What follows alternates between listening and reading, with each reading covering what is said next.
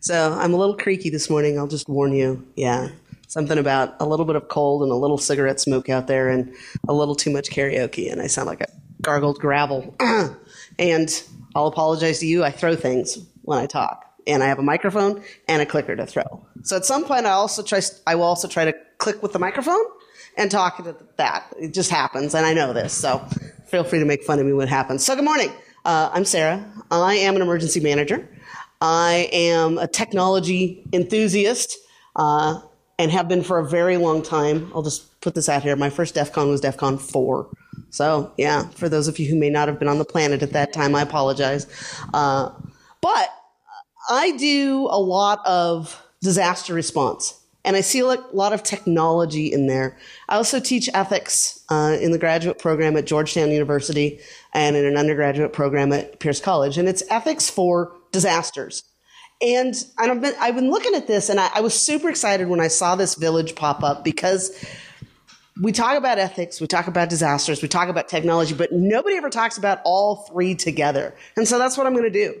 So I've got some examples. I tend to illustrate things with stories. Um, I don't have a, I have a couple of really ugly slides. I've got a lot of slides that are just pictures, but I just kind of want to walk us through some stories of of how decisions get made and why they get made, and then go to maybe a model for how we can do it better in the disaster realm. So we're here because bad things happen. Bad things happen all the time. Uh, some of them are really, really big, and people need help. And the people who need help are also the people in charge sometimes. Uh, and people want to help. And they kind of converge but there's not a good understanding of what help is needed and what help can be accepted. And if we make the wrong decisions, people can die.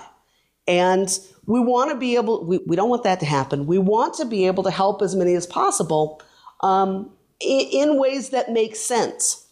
So this is an ugly slide. This is the what is ethics slide. So I wanted to set sort of a framework for what we're talking about about ethics um, and where they come from. Obviously, it, it, it, ethos is the Greek origin of ethics. And it talks about a construct of rules that are commonly accepted by society uh, as being right and wrong. They are, there's generally three different ones. There's consequential. Ooh, I have, I have a pointer. There's consequentialist, which is what we talked about when we talk about doing the greatest good. So here's somebody say, we're going to do the greatest good for the greatest number of people in the least amount of time. You'll hear that in the disaster world. They're talking about consequentialists? What are the consequences of the actions that we're taking? There's non-consequentialists. So what's the intent? Did we intend to do the right thing? Uh, and then there's uh, agent-centered. Did I do a thing that builds my character? Which is on all of these are valid um, models of ethics. And all of them have a place in this entire process. But when you hear people argue about the ethics of something, they're typically because they're coming at it from a different framework than the people around them. It doesn't mean that either is wrong. Uh, it means that they have they have the opportunity for healthy discussion and learning. Whether they take that opportunity or not is another thing. So how do we determine what is ethical? What do you how do you decide what is ethical as a person? Anybody? I know it's early. Yeah. Respective traditions. Oh, respective traditions. That's very good. That's a very, very good point. And I'm going to, I'm going to illustrate that point just a tiny bit because we often have laws and rules around ethics. You cannot do this. You must do that. Um, if you work in government, you cannot accept a gift that's worth more than $25 if you go to attend a thing. But there are traditions and cultures where that is offensive. And, and then you have the choice. Do I break the law because the ethics law says I can't take the thing? Or do I not offend my host by accepting the gift that they are giving me. And there's two right answers to that, depending on the choice you make and where you're grounded in that. But it is an excellent uh, example that often gets overlooked. What is right for the people that I'm interacting with? What are some other ways that you determine what is ethical? Yeah. Your upbringing. Yep. We're, that, there's sort of a kind of fell off the bottom of the screen, but that sort of goes to morals as well. We're going to talk about that a little bit. But yes, our morals very much inform um, the ethical stance that we take on things. Anything else that pops to mind? Yeah, back there. Our emotions. Your emotions. Yes, your emotions absolutely come into play uh, in very big ways. Especially if you don't take a moment to stop and go, okay, what is it that we're trying to accomplish here other than, oh my God, I feel horrible about the thing and I want to fix it? I saw a hand up here. Yeah. Peer pressure. Mm. Yeah, peer pressure can have a huge role in how we address and embrace ethics. Anybody else have it? Yeah. Education. education. Absolutely. Uh, typically, the more education you have, the more time you think of, about ethical dilemmas. You have more information roaming around in your head, and you're exposed to different ideas the longer you stay in in uh, in academia. That's why PhDs. Um, it's called philosophy for a reason because they talk about a lot of things and they discuss the consequences of those. Anything else? Culture. Culture. Yep. Culture is also a huge one. Different cultures have different ethics for different situations. So, what's the difference between ethics and morals? You kind of touched on it when you said uh, upbringing. What is the difference? Yeah. Morals are a personal choice. Morals are a personal choice. Yeah. Yeah. Morals talk about the character of a person and your basis for decision making. So, and you'll see, so I've, I got, there's two basic moral systems. Normative, which is consequences based, which ties a lot into a consequentialist uh, ethics uh, model. And there's deontology, which is rule based, which goes very much to uh, taking the right action. So they're very closely linked. But most people come at morals from one of these. What are the consequences or what are the rules? Some people, not most of the ones at DEF CON, are very rule based. Like there's the rules that we must follow. I, I am that person. Uh, usually. But you find when you get into disaster situations that that doesn't work anymore a lot of times. So you have rule based, where there's a rule for the thing, whatever it is, and we're going to follow the rule and everything's going to work out. But that does not happen in disasters. Oops. So disasters. I'm going to I'm going to give you a definition of disasters for our working purposes today. And a disaster for us is any situation that overwhelms the ability of the local community to deal with it. So it, there's tons of different definitions of disaster, but that's the one we're going to use. If, you, if the local community, whatever that looks like, is overwhelmed, it's a disaster to them, which by default kind of tells you that small communities can have disasters that would not be disasters if they happened in a larger community, simply because they have resources. And disasters impact everybody. But one of the things to bear in mind that often gets overlooked is that disasters don't affect every person equally.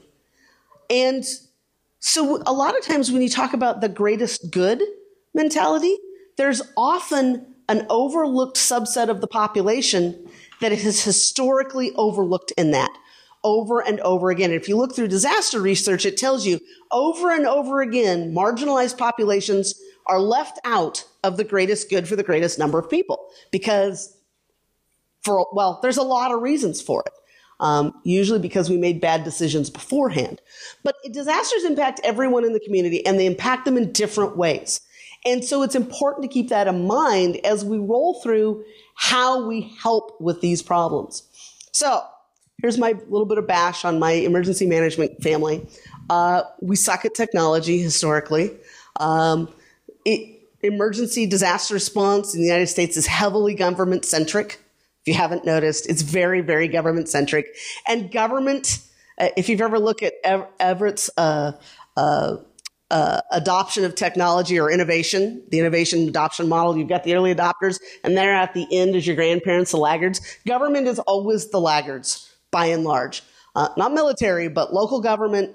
Um, you still got a whole contingent with flip phones and they're happy with that.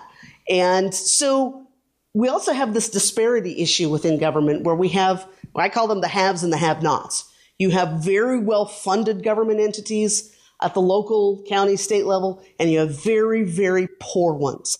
And this affects their ability to use, understand, or even be exposed to technology.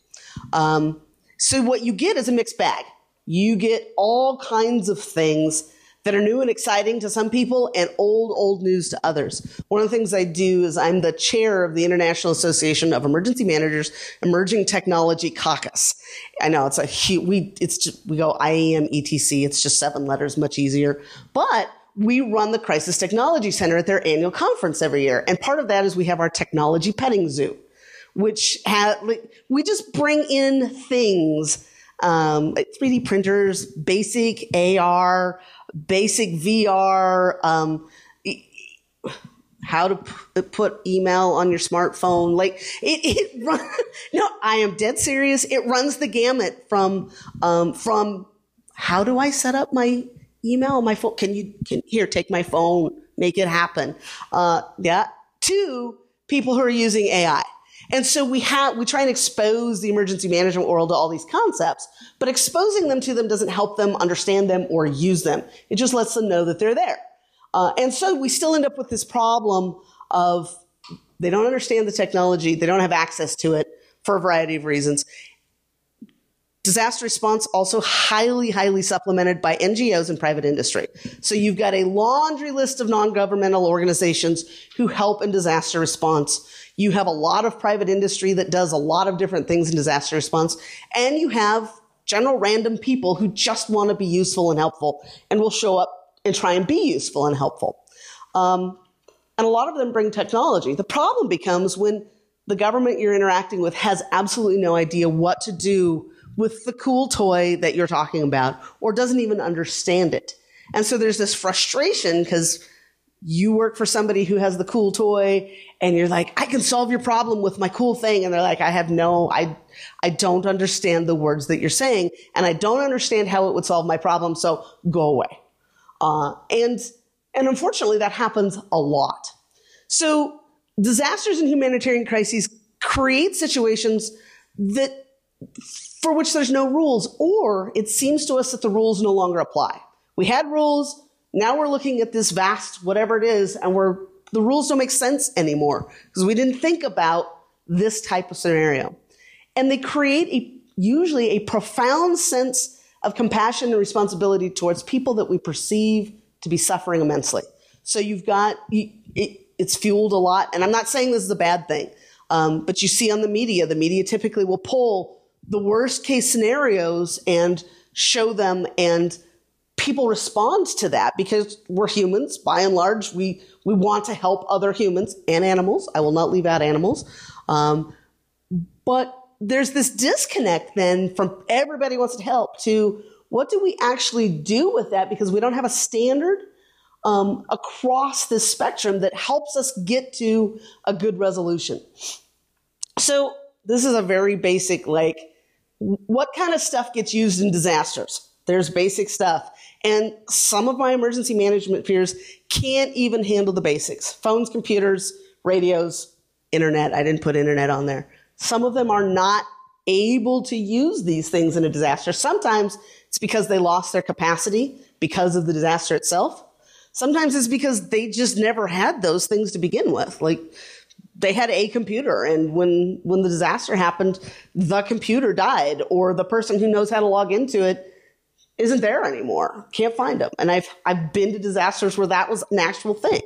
Um, it, and then there's there's data analysis, GIS stuff um, that more advanced or larger organizations use. And then you've got AI, you've got UAV, UAS, drone stuff, you've got 3D imagery going on um, in the larger organizations that have funding. So it runs a spectrum, and it can be used in a lot of different ways. We rely a lot on the basics, um, and yet we don't we don't necessarily have enough of them redundantly built in some communities for them to actually work. And I'm going to show you a couple of examples of how some of these things just sort of fall apart when uh, the rubber hits the road. So I will preface this by saying the three actual disasters I'm going to talk about are three that I were at because I try to only talk about disasters I was there for. So I don't armchair quarterback somebody else's disaster because that's rude. Um, but so the SR 530 or Oso landslide happened in March of 2014. in Snohomish County, Washington. It's a, and where it happened is a very rural area, um, east. Uh, Snohomish County is part of the Puget Sound region, so it's east of, or north of Seattle. The landslide happened east on a mountain road that connects east to west, connects um, some mountain villages with the rest of the world. 43 people were nearly instantly killed. 49 homes and structures were destroyed in a very, very short order. The search for victims lasted a month. And knowing that they were not going to be live victims, they were going to find the remains of victims. Um, the final victim was found in July. So, however many months later that was, as part of the recovery and rebuilding process, um, that's how long it took. And so that's sort of the backdrop for this. And, and an interesting side note, you'll see I call it the SR 530 landslide. A lot of people call it the Oso landslide. Oso's the tiny little town there. People of Oso don't want to be known for this landslide. And they were very vocal about that. And so collectively within the emergency management community, we said, okay, we're going to honor that. We're going to call it the name of the road that was destroyed instead of the name of the town.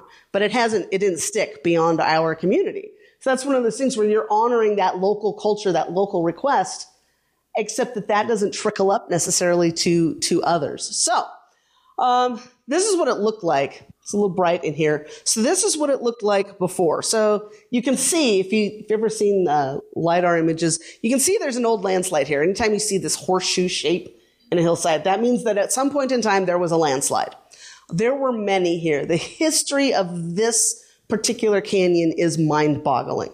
Uh, so here's here's the here's the hillside. Here's some streets, some houses, a little subdivision thing going on here. The road, the river, and here's the landslide.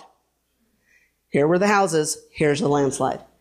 That entire side of the mountain fell off in in a very very rapid instant, um, and it was devastating. There wasn't a. T- there were there were issues that led up to this, and I actually think I put that, yeah. So there's a whole ethical thing behind this ever happening. And it's not a technology ethical thing, um, but but it's important to recognize how these become cascade failures. You make one wrong choice, and suddenly you have a whole cascade failure of wrong choices. And this was unpermitted building. They never had permits to build it. It was built, and then at some point, they were given occupancy permits. And when you look um, at the LiDAR images of this can- canyon, just with the naked eye, you can count 13 different previous landslides. And it, it's not a place where you would build a home if you knew that the hillside was going to fall down on you at some point. Um, but what was done was done and they just rolled with it. But that led directly to this. Uh, there's some great timelines about this that go back almost 100 years of the decisions that were made in this canyon, in this valley, and the things that happened over time. But then we jump to what the EOC, so the EOC is the Emergency Operations Center. That's where the organizing, the coordinating, all of that happens in a disaster. This was by far the largest disaster we had seen in Washington state in a very long time. Um, we used resources from, I say we, it wasn't my disaster. I was one of the resources that went to help. Uh, it, they used every resource in the state at some point. Uh, and so all of the people working in there were from somewhere else, by and large. They had a system, I think, but it didn't work. We reverted to paper. And paper is an ugly, ugly thing in this kind of environment. Uh, things were getting lost, so we were doing resource orders and they weren't getting tracked right. They were people putting them on sticky notes. We'd find them a week later. It, it was an absolute nightmare. But what happened here, there were multiple people in that room who said, I have a fix for this. It's a t- technology fix. And we were just going to throw it on, sh- on a SharePoint list because that was better than paper. But we couldn't, and there were multiple, we like, we had this little organizing meeting in the corner and said, we can do this. Like, we can do this and convert this in like less than an hour probably. Multiple people made the pitch to the people in charge and were told no. Because, and I think really they didn't understand what in the world we were saying. They, they understood Excel. It was in Excel, which led to a whole other brand of chaos. if you've ever used Excel with multiple people simultaneously, it's no, no. Yeah, there was, I spent, I spent a good chunk of an evening rebuilding Excel at one point because something horrible happened. But we could not convince the right people to just give us SharePoint. They had it. We couldn't do it. And, and so there was that decision point where we were like, we, we felt like ethically we had an obligation to make this better and make it sustainable because what we were doing was clearly not sustainable. It broke. Somebody blew it up accidentally. It just didn't work. Um, and yet it didn't jive with their idea of how it could be better. Uh, and and so for us, it was a very and by us I mean the the rebels in the corner who were trying to do this.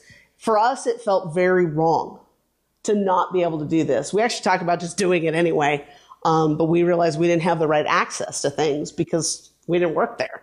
Uh, and but the other thing that happened in this, and I call them technology tourists. Uh, we we have this thing in disasters where we call them disaster tourists. Random people just show up because they want to see what a disaster looks like, and I don't like them. Just so we're clear on that. Um, if you show up and you bring supplies, fine, and you take a look. If you just show up to show up, go away. Um, but we had the same thing happen in this room. Part of what happened when we said, hey, we think we can put this on SharePoint and make it better for everybody. Oh no, a very large technology partner from the Puget Sound area is going to come and save the world. And we went, yeah, huh. We had what I now call technology tourists we had at least one, maybe two large technology companies who may or may not be located in the Puget Sound area roam through with a tour group to say they were going to fix the problem, and we never heard from them again because they didn't understand the problem. The people there couldn't articulate the problem, and we were well we were well entrenched in paper at this point. There was no way that we were going to something else. But it was the first time I had seen technology tourists and now that is also a thing. You see them uh, pop up. Uh, you'll see YouTube videos of people who made a great cool toy for some disaster. And they were probably a technology tourist. Instead of going with what was already available, they reinvented the wheel. They made a new thing. Um, it, it's a it's a growing issue. And then we had stuff in the field. So the field was interesting because it, it was we had aerial imagery that had come in.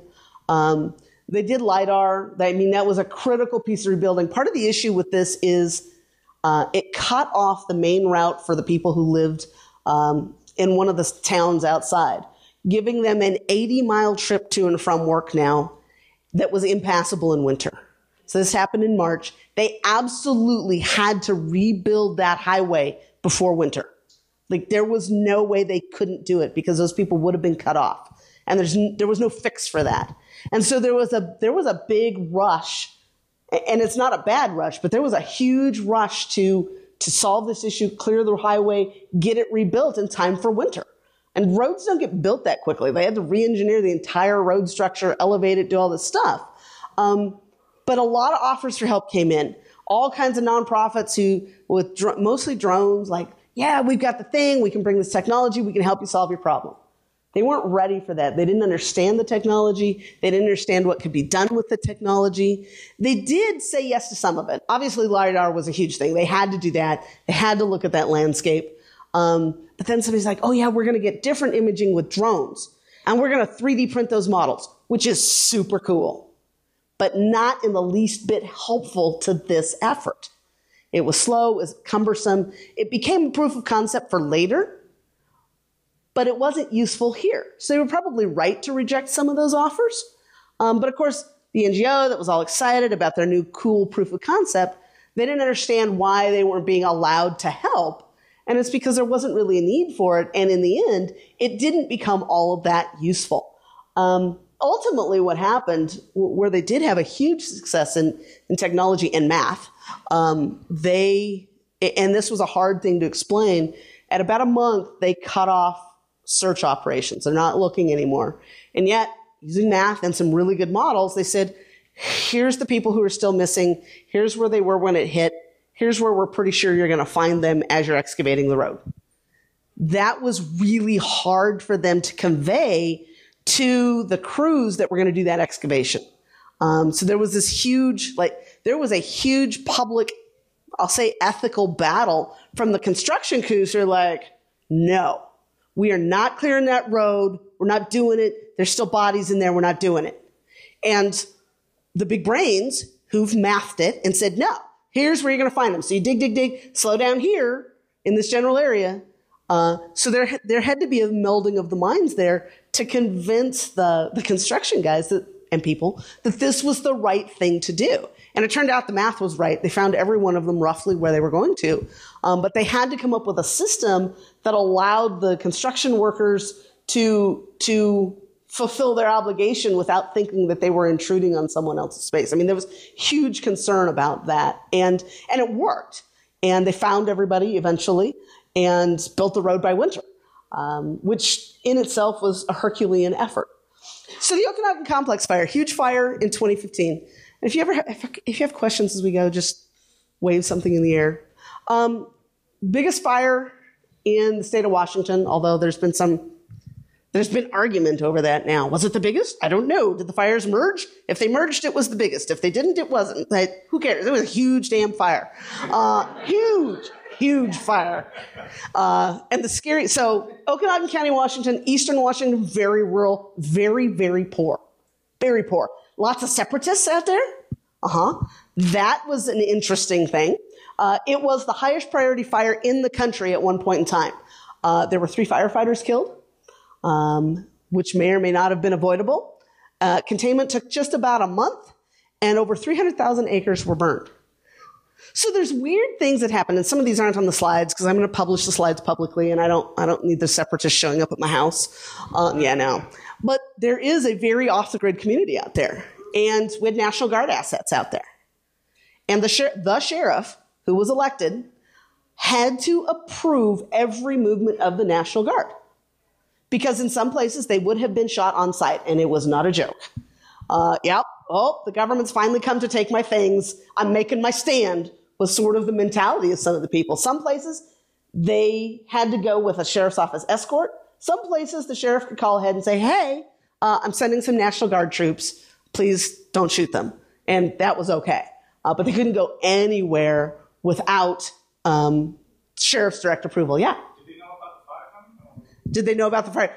Everybody in multiple states and two countries knew about the fire. Like, yeah, it, it didn't matter. They, if you've ever interacted with um, a true separatist group, they really they don't recognize government. They don't recognize the federal government.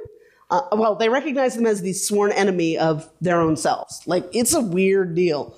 Um, yeah, um, but it was yeah. The fire was they knew we had firefighters held at gunpoint.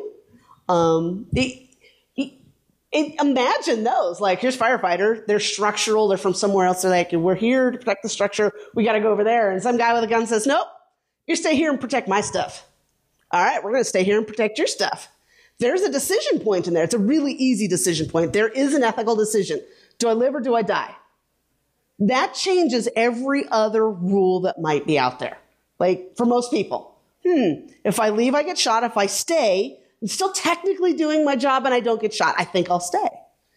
Those are things we don't typically expect to find in disasters.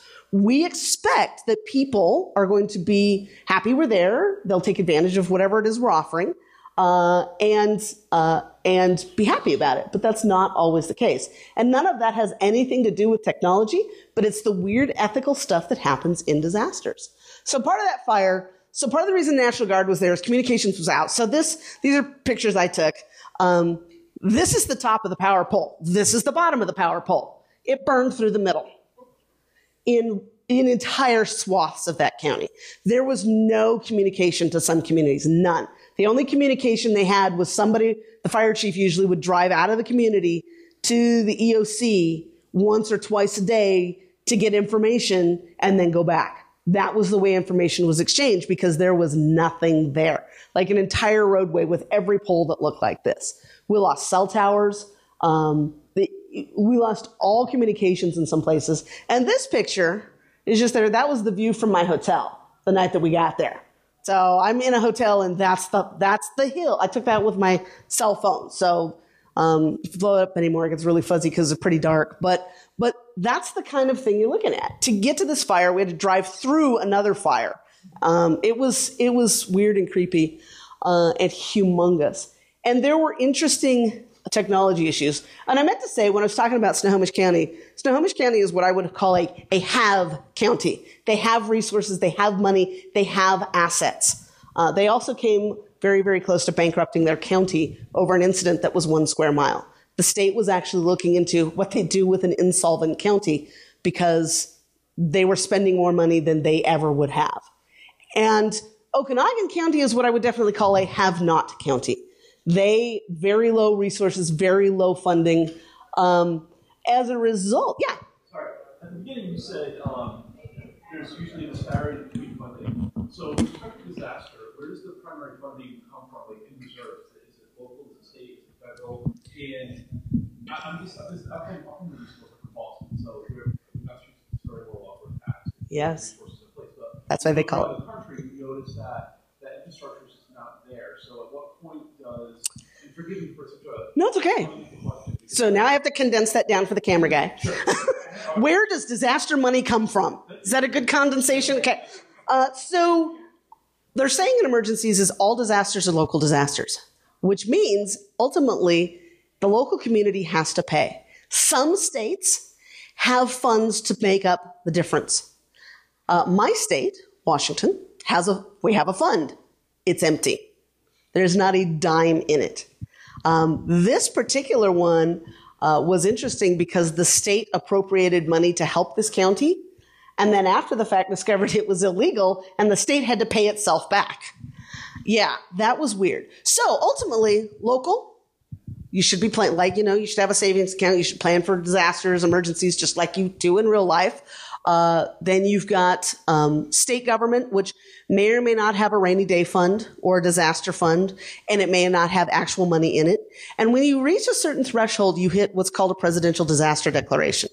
And there's a these are the big ones. These are the ones where you see FEMA went to a thing that was a president, presidential disaster declaration. You, there's a threshold, and that threshold is based on a per capita number. So you have to meet it within the county and then with the state as a whole. And often these small counties can't meet the threshold because they have to meet the threshold for the whole state. So they can meet their local threshold, but the state as a whole has to expend a certain amount of money. Um, so it's it's a complicated thing. And in Snohomish County, where the landslide happened, had they not gotten a presidential disaster declaration, they would have bankrupted the county. But that's how they did not. They got a presidential declaration, which opened up federal funding for it. Um, Okanogan, however, uh, very small. The thing, the thing that saved them in this is there were fires all over the state, and ultimately they did meet the threshold in the state. Yeah, go ahead. what what is the consequence of a county or city going bankrupt? Well, that depends on where you're at. California has had this issue. Um, California, for a while, was issuing IOUs to employees. I think it was Orange County. Uh, yeah, ooh. How long are you going to stay working for a place that owes you? Not, so I worked for an ISP a long time ago, and they still owe me money, but I don't work there anymore. Like they quit paying me, and I quit going to work because why would you stay? Um, so it really depends on state laws. Um, part of what happened has happened in Michigan. So Michigan has had all of these weird insolvencies. They've had all of these Detroit area bankrupt towns, and they assigned financial managers to them, which is exactly how you ended up with the Flint water crisis. Exceptionally poor decision making um, because of money. So there's no one answer to that. It really depends on how each state is um, structured and what kind of government they have. Sorry, I'm a government nerd. I, I could go all day just on that, but I will not um, because you'll go to sleep. Uh, so, Okanogan County, very small, large geographically, more cows than people. Um, they had, wow, somebody let that guy in. they had a huge problem with information dissemination, with lifelines cut, phones not working. People couldn't get messages that were going out. They didn't have a reverse dial system. So we, we use these a lot in disasters where we have a system that we pay money for. It calls you to tell you things you need to know. They didn't have one of those in Okanogan County. Never dawned on them.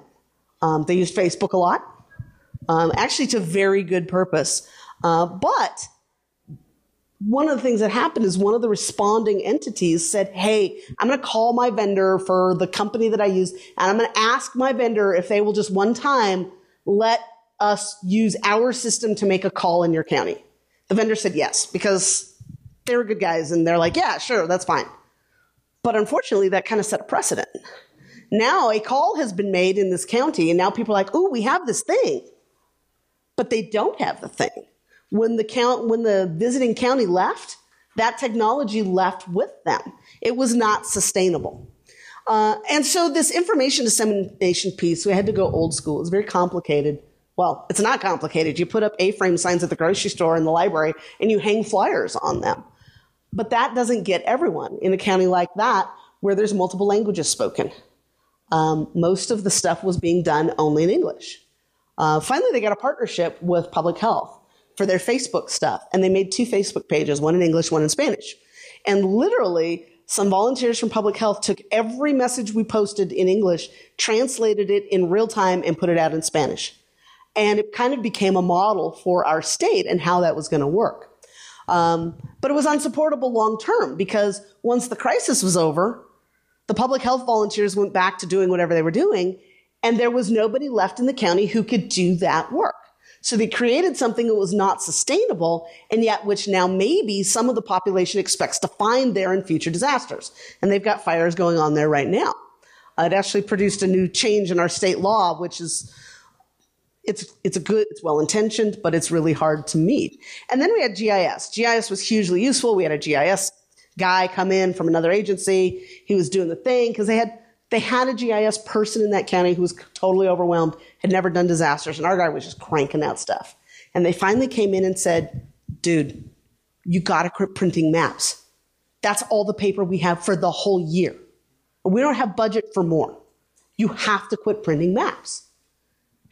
That was an interesting, this was definitely a have not county. They didn't have the money to buy more paper for the plotter. When we used what they had, that was all they had. And it was a great effort, but again, it was unsupported locally. The point in this is decisions were made about the use of technology that could not be supported after the people who were helping went home. And that is an issue. It's a huge issue in disasters when you create a system and it's, it's awesome, it works, and then the people who created it went home and now there's no system. It doesn't solve a long term problem. And it's a short term fix that now sets an expectation that cannot be lived up to by whoever stays behind because it, it remains a local incident, always. So I'm going to talk about Hurricane Harvey, a very, very, very small sliver of Hurricane Harvey. In case you missed it, it was last year. Uh, it was very, very large. It was this big red blob, and the eye of it went over Rockport, Texas and it was category four. I ended up in Rockport, Texas, with an organization called the Field Innovation Team. I don't know if anybody's heard of them. They're a non they're a nonprofit. Um, they do exactly what it sounds like they might do. They do innovation. Some of it is technology, some of it is not. Um, so this was Rockport when we got there. There was nothing. Uh, this slide I borrowed from another presentation I did, but um, there's no power, there's no water, there's no sewer, there were no kids because school had started already. Every family with a kid relocated to some place that had schools. It was weird. There were no animals because they took their animal, except for wild pigs. There was occasionally wild pigs that would go barreling through things. There was almost no health care. There was a curfew. There was debris everywhere. Um, there were lots of sunken boats. And this last one that's somehow fallen off the. There were resources everywhere. This is not debris. This is donations it became debris because after a few days of sitting in Texas, now there's snakes and other things that have moved into it, and it's kind of damp because, yeah, gross. Uh, so, resources everywhere. There were all kinds of groups there helping NGOs, private companies, um, and there was no organization around it. We obviously couldn't tackle that problem when we, when we looked around, we thought, okay, there are some things that we can help with. We can help them with their donations management. if they'll let us. We can help them with their community health issue if they'll let us. And we can form some partnerships that can let these things continue after we leave. And we got permission. I invited myself to a meeting. Yep. It was interesting because I, I invited, I actually got myself invited to a meeting. Uh, and it was the only meeting I needed to go to, but I'm an emergency manager. And the local emergency management guy was like, he looked at our group of people and he said, You can go. All right. And it worked out because I talked to the two people we needed to talk to and got permission for our group to do, we actually did six things, but we only needed permission for two. So we did donations management um, in an old parts store that we didn't own, that there was no contract for, that had been severely damaged by the storm, that was running on a generator, which, if you look closely at this picture, so this is an electrical panel. This is an extension cord wired to the electrical panel. Uh huh. That extension cord goes out and around a corner and outside to a generator. If your butt hit that cord, all the power went out. Uh huh. There are so many issues with this building. So many. But it's not my disaster. I'm there to help the local community, and this is what they're doing. So you have a choice. Do I support them, knowing that what they're doing is maybe illegal? Probably. They're probably, they don't have permission to be in this building. Uh, this building is absolutely going to be condemned. Like, I looked at it and went, ooh, how are we using this building?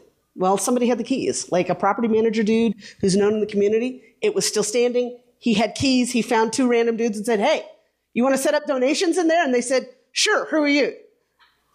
And keys were exchanged and things happened because disasters sort of break our rules sometimes. This is what they needed to do. And we had a choice as a group. Like, we knew. We knew eventually things were going to go weird here. Um, but, so we could either support what they were doing or we could leave. But we went there to help, so we supported what they were doing, helped them organize. But what they really needed, in, or, in addition to organizing, they needed an ability to publish their needs. They had real needs, and they had things that they had to get to support their community. And so they, um, they were doing the best they could, but they didn't have technology. They, I mean, they did. Cell phones were working, which was good. Uh, cell phones worked great best data service I think I've ever had. It was amazing. Uh, but nothing else worked. And um, so we said we can help you. We can help you organize. Like we, we, I'll, I'll, say we hacked a solution to this donations management. We scoured through rubble and built signage, and somebody had spray paint. we made signs. Like we did all of it with the things we had on hand. We didn't bring in new stuff. We just used what they had. Um, and but we said we can help you organize this a little bit. So we set up a system for them uh, with a partnership uh, and I'll talk about them. Anybody familiar with ITDRC? ITDRC is an amazingly wonderful nonprofit organization, information technology disaster resource center. They're a huge nonprofit. Like you might guess from their name, they take technology of all kinds to disasters and they support it for as long as it needs to be supported. Um, they're a great, great, great organization. But we we ended up partnering with them because they were there and I know them, and so here we all were together. And I'm like, and I sent them a thing. I said, we need to set up internet for this donation center because they need to be able to reach out and tell the world what they need. We need internet. And they said, we can do that. So they called their friends a Dish, and Dish sent us a VSAT, which was an amazing day, and it worked great until anybody would bump the generator and then we had to restart everything. I know. It, it, it is what it is. But this happened because of partnership, because we didn't want to build this and then say, okay, we're all going home, you're back on your own again. The very cool thing about this donation center, eventually, yes, the property owner's like, no, really, you got to get the hell out of my building. Um, my altruism is done. My insurance needs to pay me out but my insurance won't pay me because the building's occupied, so why should they? So that became a whole thing. But this operation for donations management turned into their own local nonprofit organization doing long term recovery. And it started right here with a laptop and a VSAT and a bunch of people just trying to make the community better. Um, and, and it was important for them to be able to do that. We helped them figure out how to set up a Facebook page. Like, this is one of ITDRC's laptops which unfortunately decided it needed a Windows update over a VSAT. And so that was kind of, I know, I know. I was like, no, oh, it's going to happen. I'll see you in a couple hours. I, yeah, couldn't stop it. It happens. Uh, but, uh, but they were able to leave that for as long as the community needed it. And then that the, the people there, we helped them learn how, we helped help them, we helped teach them how to do this. They, they didn't know how to set up a Facebook page or any of that, but it was useful to them because that's where people were looking for information. So they, they set up a, a Facebook page and they started pushing the information out that they needed. And people started responding appropriately. Um, it's interesting because as an emergency manager, I say, don't show up without being asked and don't send donations without being asked. And this changed my mind because Rockport was overlooked by everybody. There was no, I say there were all kinds of people there, but there weren't resources, there weren't money, there was no Red Cross shelter, there was no any shelter, there was nothing. Um, there was food. There was some of the best disaster food I have ever eaten in my life. Mercy chefs. If you ever go to a disaster, make sure you're at one where Mercy chefs are because they kept everybody fed. But but nothing else was there. So this helped them long term then become their long term recovery organization. Um, their Facebook page has changed names, but it's the same page they started with. And it chronicles all the way from when they set it up to now doing their long term recovery. Um, and that, I mean, it's been a year, not quite a year, and that they're far, far, far from recovering. Um, they lost a lot. But one of the other things we did, there were huge, huge, huge health concerns. Um, they don't have public health in Texas, or at least in Aransas County, in the way that I'm used to public health happening, meaning that they don't actually have public health that does health things for people. And I come from Seattle. I know they check on sewers and stuff like that, but they don't actually, they don't have public health services like I'm used to. Um, so there was no communication to the public about public health. There were still people live. This picture, we found a Buddhist monastery. Some of the locals didn't even know there was a Buddhist monastery there, but we sort of did a survey and, and we're like, hey, there's a Buddhist monastery. And this guy uh, uh, did not know that there was a boil water order. It never got to him. There were boil water orders for days, meaning the water's not safe to drink, you need to boil it. He didn't know. Other people didn't know. So they had limited healthcare availability and information was not getting out. Um, and, and that's an issue. I mean, that can lead to a whole secondary disaster. Uh, and, and for me, like, for me, this was a huge ethical issue on the emergency management side, not the technology side, but the emergency side. Like, I, in my heart, I don't know how this happened. I mean, I theoretically know, but I can't get over why it happened. We did a couple of things. We did a survey of where all the resources were in the community. Where is all of the stuff going? And we put it on a map, a, a Google map, uh, and just labeled it. And we distributed that to the community. And now they knew where they could go to find stuff. And if you wanted to bring donations, you knew where to go to drop them off. And then we took that, and somebody came up with a QR code for it and a way to get to the map, and we posted these flyers all over town so that people could get information about their needs and their resources and what to do with them. Uh, and then a little bit of, of, mental health stuff because there was no mental health going on in that community. None. We were deployed with a partner team that was doing mental health, and they were the only ones there. And uh, it was, well, this was a week and a half, almost two weeks in by now. Nobody was there. Um, and then we set up a health information line. This was a thing that we had to partner with again. Um, someone donated a phone line uh, and Fit set it up, a call in line. And we found random people. She lived locally. She's finished med school. She hadn't taken her exams yet. She was bilingual in English and Spanish. She was exactly who we needed. Uh, and I called the guys at ITDRC and said, hey, can you get her a computer? Because hers had been damaged. They said, sure. We'll give her a computer for as long as she needs it. And so she was able to keep that phone line updated with information so that people could call a phone number and get in English or Spanish the status of pharmacies, health clinics, hospitals, basic, eh, whatever basic stuff they needed. Uh, and it could go for as long as was needed. And because we had set up internet, so there was internet, we got our computer, and she made it go well after we left.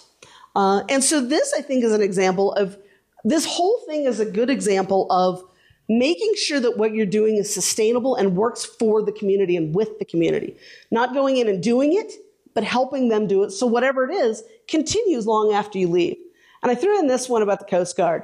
Um, the Coast Guard, the official messaging from the Coast Guard was if you need help, call 911 or call the EOC or call the Coast Guard.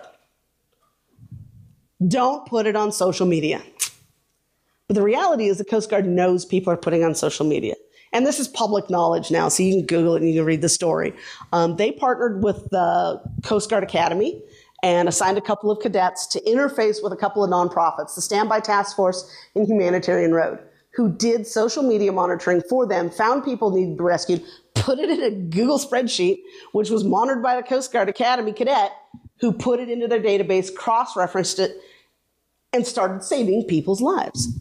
Very, very basic stuff. But now they have a policy change. This is what they do now. The ethical thing in here is, and, and it's one of those like, oh, they're saying one thing and they're doing something else. Because they couldn't go against official policy, and yet they knew that they needed to be able to save lives. Go ahead. This is just a comment from Texas. Yeah. Thankfully, it's not the part that was affected. Um, I saw a lot of groups organizing like massive social media outreaches to save people, and you see like live updates like two hours ago. Cajun Navy. Cajun Navy. Yes. like help this address, and like two hours later, this person was rescued. Yeah. This address. It was great. Yeah, and they were so Cajun Navy did a lot of rescue stuff, and they used Zello for that. Um, yeah, they should stick to boat rescue. I'm just going to leave that right there. I had an interaction with them, which was most unpleasant because it had it didn't do it had to do with water and boats, and they just needed to get the hell out of my town. Yeah, yeah, it was. It was, it was, I think, a rogue person, but you know, sometimes a rogue person speaks for the whole group and it's not good. So yeah, they did a tremendous amount of rescue. So there was a little bit of that cross referencing too, because now you've got four different groups potentially that are trying to rescue the same person. And so long term, they're working on fixes for that because you don't want to duplicate that effort. You want to be able to cross reference all that information and send one group to rescue Granny off the roof and not four groups. Um, because, but we're, working on that. Like that's a, that's part of what the Coast Guard was doing. They were cross referencing some of each of these things. There was, there was still duplication, but um, the important part was people got saved. Um, and the amazing thing to me is nobody died in Houston, um, at least in that initial thing. Like nobody drowned. And that's huge. And people were rescued. So official change. Now Coast Guard does that. That's part of their MO now. Uh, and this I throw in there as a reminder um, of what happens when we don't do things right. So Hurricane Katrina Memorial Hospital, anybody familiar with this? So they lost all communication with the outside world. All of their technology failed. And they euthanized people. They killed people because they didn't want them to suffer. It's a valid response. It is an absolutely valid, ethically based response to hopelessness. You have no hope of rescue. You don't think anybody's coming. Um, but it was completely avoidable. Completely 100% avoidable.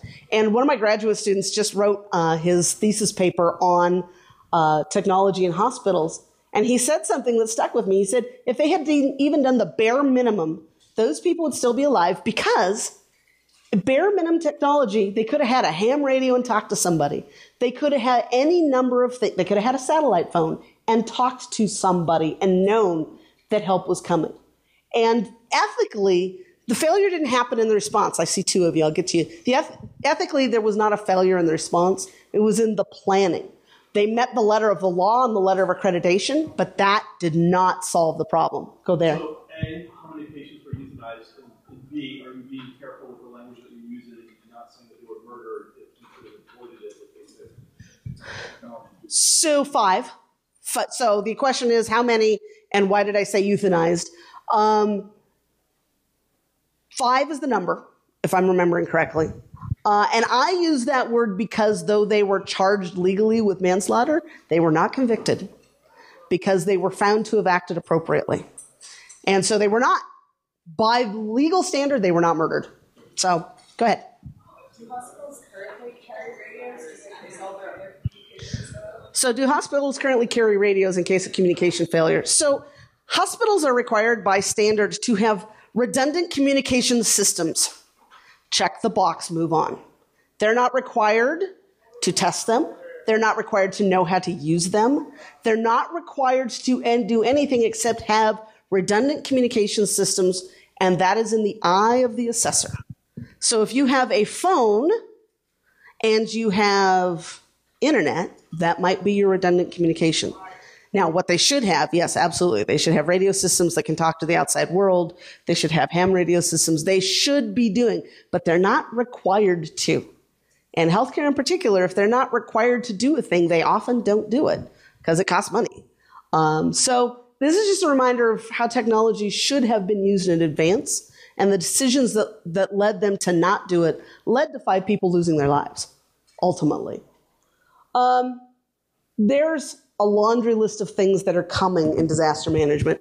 Self driving cars. For me, that solves a huge problem. It helps us get people out of harm's way if there's an evacuation. But they also just randomly hit people because self driving cars every once in a while are like, hey, screw you, and hit somebody. Um, automated translations. That's a thing that's becoming more and more urgent, that state laws are requiring that all things be translated. We don't have a capability to do it well yet. Big data. There's huge implications in machine learning and AI. There, there's some group out there that claims that they are predicting earthquakes. And they got up on a stage at a really important conference and they got challenged by multiple people and they just basically said, shoo, we're smarter than you. And it was ugly because they're like, well, we know, but we, we don't know what to do with the information. And I called bullshit on that. I said, of course you know what to do. If you, if you know that something's going to happen, you call the authorities. And they didn't really like that answer um, because they can't really do this. They can't do earthquake prediction yet.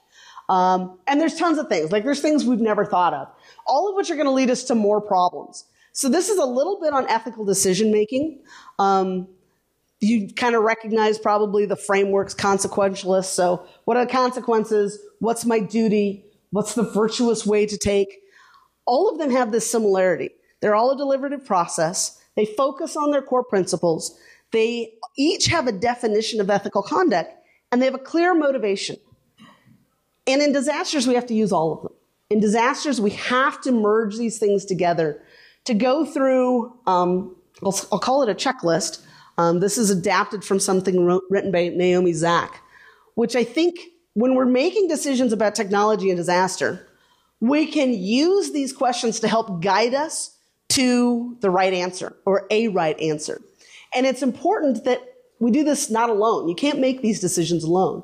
So we have to ask things like, what's our moral obligation? What are we morally obligated to do and provide? Is our solution adequate? Does it actually solve a problem? And is it fair?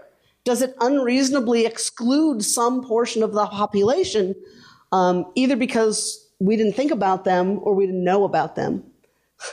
Are we, as individuals, ready and able to take care of ourselves?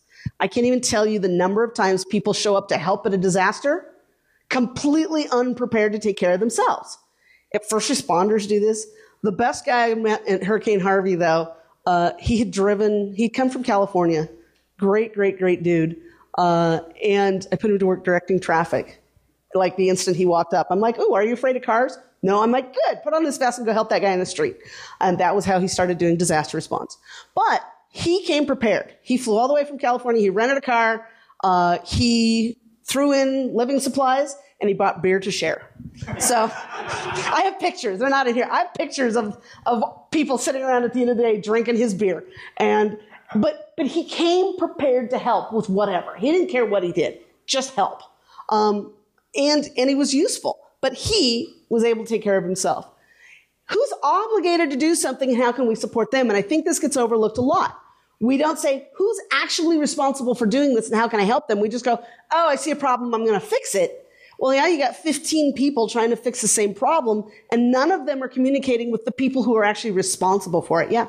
So, and I came in late, sorry, it's okay. it's already been asked. Where do you see the dividing line between, say, a small town uh, on, on a port that maybe every three or four years gets nailed on something like this? That the obligation I see as a big thing is shouldn't they have the responsibility? They should. Right, to at least have some, not everything. I mean, you're not gonna you're not gonna fill a warehouse and just leave it, right? But Yeah. shouldn't they have some basics? I mean, when they cry foul when weather happens, which you can't predict, and I agree with you on the earthquake thing. I just I think some small towns. I was in Texas for quite a while. Yeah, and it, and it's. I'm going to condense that question. Uh, what obligation do? Or I said people have an obligation. Organizations also have an obligation. They do. The town, yeah, towns, cities, uh, they do have an obligation, and sometimes they think they've met that obligation. And that's part of the issue. Is um, how do those organizations meet those obligations in a way that's effective? And yeah, it's they do absolutely have an obligation. Um, they usually have a legal obligation. Um, and they often think they're meeting it. And that's what I found usually with small towns is they think they're meeting their obligation because they don't understand the problem. And that's a huge, huge issue on the disaster side is, is not understanding the issue. So, um, does our solution ensure safety and security? Does it make every, does it make things safer and more secure in terms of the people, but in the solution itself? Did we make a solution that we have secured in a way that is reasonable? Or did we just put it on a Google sheet for everybody to see? Um, and people do that. I have found appalling things on Google Sheets that were compiled in disasters and just left out there as now public information that should never ever be there.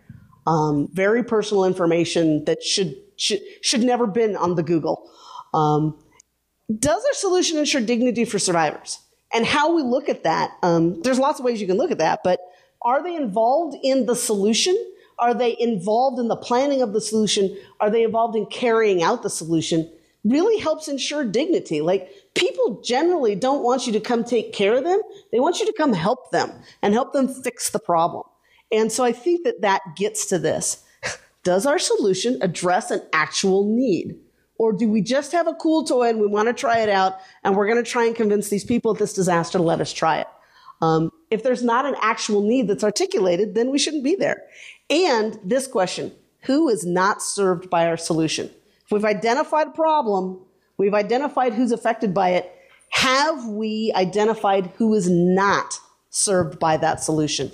And I think that this is the piece that often gets left out. Like, who did we skip? And who did we just make things either worse for or not better for?